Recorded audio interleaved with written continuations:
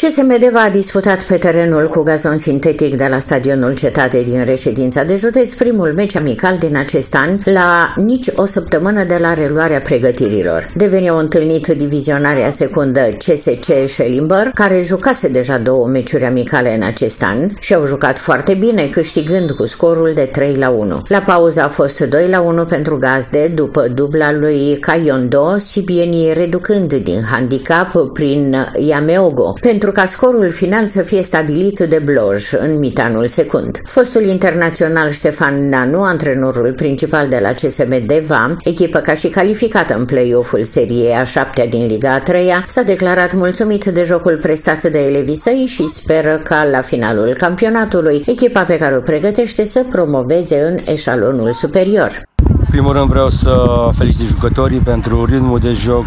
Am jucat cu o echipă de Liga 2, o echipă cu jucători de calitate, o echipă care este pe locul 10 în uh, Liga 2. N-a fost nicio diferență între jucătorii noștri CSM Deva și Sheringborough.